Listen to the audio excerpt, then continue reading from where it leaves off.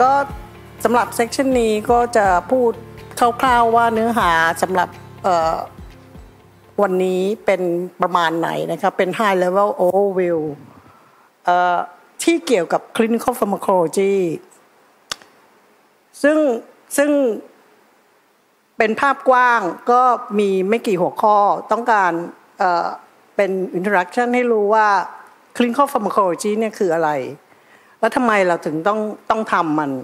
แล้วเมื่อไหร่เราถึงจะทำมัน ถ้าเราจะทำเนี่ยทำทำยังไง ซึ่งจะเป็นช่วงตอนบ่ายนะคะ แล้วก็ผลสุดท้ายมันจะออกมาเป็นไง แต่ว่า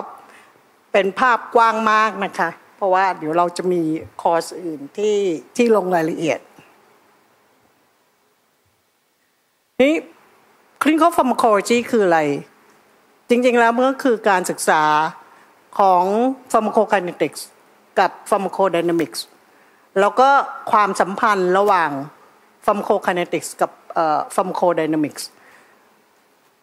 ที่เกี่ยวกับตัวยา ซึ่งตัวยาเนี้ยถ้าเป็น small molecules มันก็จะรวมถึงตัวยามันเองตัวแล้วก็ตัวยาที่อาจจะถูกเปลี่ยนแปลงไปเมื่อเข้าไปสู่ในร่างกาย ถ้ามันถ้ามันมีฤทธิ์ทางยานะคะ ซึ่งก็เข้าใจว่าทุกท่านอาจจะ น่าจะเข้าใจว่า PK PD คืออะไร อันนี้ก็พูดคร่าวๆว่า PK มันก็คือภาพรวมที่เราเห็นในส่วนใหญ่เราจะเห็นในระดับยาในเลือด เพราะว่ามันวัดได้ง่าย การที่เราได้ระดับยาในเลือดมาเนี่ยมันจะผ่านขบวนการที่เราเรียกว่า ADME process คือมันจะมีการ absorb แล้วก็มีการกระจายตัว แล้วก็มีการถูกทำลาย metabolize metabolism แล้วก็มีการ excrete ออกมา การที่มันผ่านกระบวนการอย่างเงี้ยแล้วเราก็จะได้เห็นว่า plasma concentration ในในในคนนี้เป็นยังไงนะเพราะว่าเราเราสามารถวัดได้เราเจาะเลือดได้เลย ก็มีวิธีการในการ analyze data หลายแบบ ก็ยกมาเฉยๆ ก็มีพวกอาจจะได้ยิน compartmental non compartmental PBPK ซึ่งเราจะไม่ลงรายละเอียดนะคะ ถ้า PD ก็คือการศึกษาฤทธิ์ของยา โดยตรง ซึ่งซึ่งซึ่งจะเป็นที่แบบที่ cell level molecular level หรือหรือหรือระดับ receptorต่างๆนะคะแล้วก็มีการการมีโมเดลที่จะ describe มันหลายโมเดลมาก ก็แล้วแต่ว่ามันออกฤทธิ์ยังไงนะคะซึ่งซึ่งก็จะไม่ลงรายละเอียดเหมือนกันสำหรับช่วงนี้ ก็หลักๆกก็คือ ประมาณนี้ PK เวลาเราพูดถึง PK เนี่ยเรา represent ด้วย plasma concentration แต่ความจริง ที่เราต้องการเนี่ยคือว่า concentration ที่ site of action ซึ่งเราวัดไม่ได้ เราต้องมีวิธีการที่จะโยงระหว่างพลาสมากับที่ site of action ก็ก็มันก็มีขบวนการแต่ว่าไม่ cover ในในในทอล์กนี้ แล้วก็อย่างที่เมื่อกี้พูดถึง ว่าการที่เราจะเห็น plasma concentration มันต้องผ่านขบวนการพวกนี้ เมื่อมันไปถึง concentration ที่ site of action มันก็จะทำมีการจับกับ receptor หรือหรืออะไรก็ตามที่มันจะมีฤทธิ์ก็จะส่งผลที่เรียกว่า pharmacodynamics สุดท้ายเราก็จะได้ curve ที่เรียกว่ามีมีจาก concentration เท่าไหร่ มีฤทธิ์เท่าไหร่ อะไรประมาณนี้นี่ก็เป็นภาพ ทั่วไปของของการศึกษาความสัมพันธ์ระหว่าง PK กับ PD ซึ่งซึ่งจริงๆอะมันเป็นมันเป็นฟันดัมเมนทัลของการทำ drug development ว่าทำไมเราถึงถึงถึงถึงต้องรู้ PK/PD relationship เพราะว่ามันสำคัญในเรื่องของอว่าจะทำจะให้โดสขนาดไหน จะให้ ความถี่เท่าไหร่ก็คือ dosing regimen แล้วก็สำหรับคนคนไข้ที่มีความแตกต่างกัน ไม่ว่าจะเป็นเรื่องของอายุเชื้อชาติ หรือว่าพวกจเนติกที่ต่างกัน หรือว่ามีโรคต่างๆกัน ซึ่งพวกนี้เราจะเรียกว่า intrinsic factor หรือเมื่ออได้รับปัจจัยภายนอกที่ต่างกันอย่างอย่างเช่น ได้ยาสองอย่างร่วมกัน หรือว่ามีแบบได้อาหารที่อาจจะมีผลต่อยาหรือยามีผลต่ออาหาร อะไรประเภทนี้พวกพวกเกี่ยวกับการสูบบุหรี่การพวกเหล้าอะไรอย่างนี้ ก็เรียกว่า extrinsic factor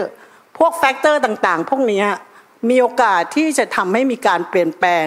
PK แล้วก็ส่งผลต่อ PD ไอการเปลี่ยนแปลงพวกนั้น ถ้าเรารู้ relationship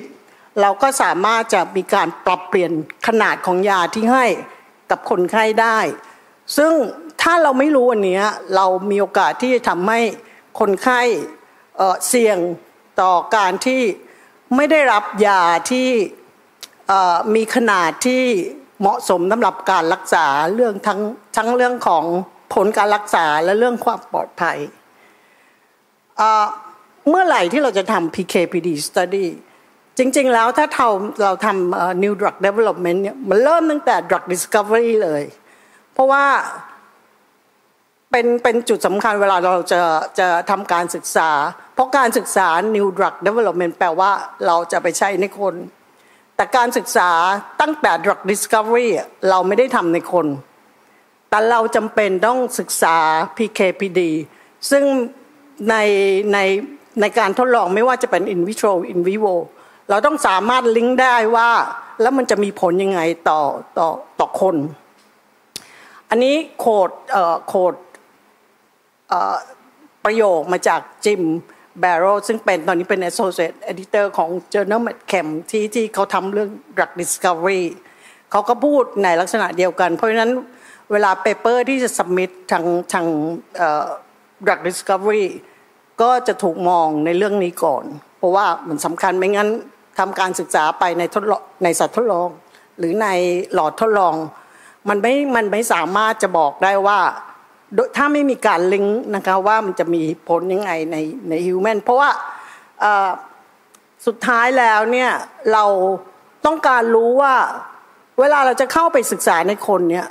เราจะ target ที่ concentration อะไรพลาสมา แล้วไอ้ concentration นั้นมัน relate to dose ยังไง มันจะมาเริ่มตรงที่ว่าจะเลือก starting dose ยังไง แล้วก็จริง ๆ ก่อนหน้านั้นมันก็จะเกี่ยวกับว่า แล้วเราจะเลือกโดสยังไงที่เกี่ยวกับการศึกษา safety ว่ามันจะครอบคลุมโดสที่จะไปศึกษาในคน แล้วแล้วที่ที่ที่ที่พูดถึงก็คือเรื่องของแล้วจะ formulate compound ยังไง เพราะว่า ถ้าหากว่า formulate strength ที่ไม่เหมาะสมทดสอบไม่ได้คือมียาที่แบบเข้าการศึกษาไม่ได้เพราะว่า strength ที่เลือก เวลาเขาทำ formulation มันไม่เหมาะสมกับการที่จะใช้เพื่อจะทดสอบว่าคนในคนเนี่ย first dose in human เนี่ยทำได้ตลอดจนถึงที่เขาจะเห็นผลการศึกษา แล้วก็ all the way through ถึงการยื่นผลการทดลอง แล้วก็การไฟล์ regulatory เพื่อที่จะขอขอขอขอขึ้นทะเบียนยา แล้วก็ส่งไปถึงว่าเวลาเวลา regulatory เขาจะรีวิวแพ็กเกจข้อมูลของเรา เขาก็จะดูส่วนนี้ด้วย เดี๋ยวก็จะให้ดูนะคะส่วนนี้จะไม่พูดแต่บอกว่านอกจากของการที่ทำ experiment ทำ some study แล้วเนี่ยการ ประมวล Data ทั้งหลาย มันอาจจะมีการใช้โมเดลลิ่งซึ่งจะมีข้อมูลเยอะมาก รวมถึงนอกจาก PKPD แล้วมันจะมีข้อมูลส่วนอื่นที่เราใส่เข้าไปเพื่อที่จะได้ผลออกมา แล้วมันมันมันมันจะใช้ในการอนอกจากการแพลน clinical trial แล้วในการ analyze แล้วอาจจะมีช่วยในการที่ว่า optimize clinical trial ได้ด้วย ซึ่งถ้าเป็นของ regulatory ที่ต่างประเทศเขาจะใช้คำว่า model informed drug development ซึ่งเป็นเป็น initiative มันหนึ่งของ FDA ที่ต่างประเทศ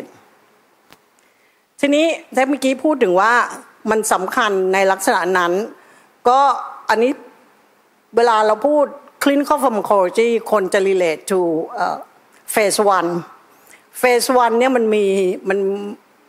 เวลาเวลาคนพูดเขาพูดถึง with respect to time หมายความว่า phase one ก่อน แล้วก็ phase สอง phase สาม phase สี่ phase หนึ่งคือศึกษา safety tolerability PK phase สองคือเข้าไปดูว่า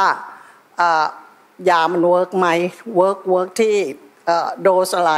แล้วก็ phase สามเป็นการที่ทำ efficacy trial แล้วก็ safety trial จริง